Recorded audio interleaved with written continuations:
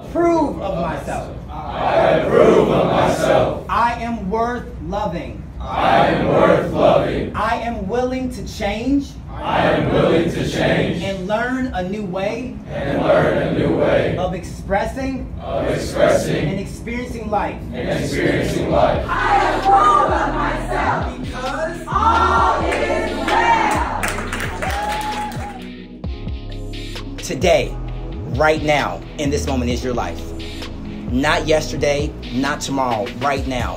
What are you gonna do with what you got dealt with? And once we realize that toxicity of what we're dealing with, either you're gonna go back into that space, you're gonna either go to the mess of that or the message of it. And the message of it is the maturity of I know that I've been in the mess, but I gotta put some on this mess to either be messy or to be a message, to be a messenger. This is a issue that is not just one-ended. However, what can be done now is utilizing the power that we have as a collective.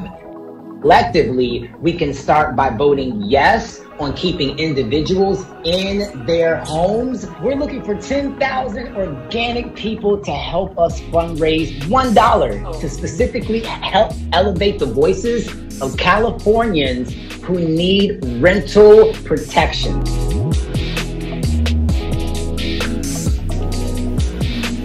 I'm here to give you a little bit of gas for your fight to what can happen.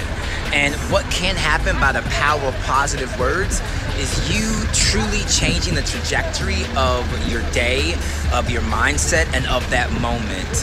When situations arise that you really can't control, you can control yourself by what you think. And in that moment, I want you to have a mantra in your heart and in your mind and out of your mouth that all is well.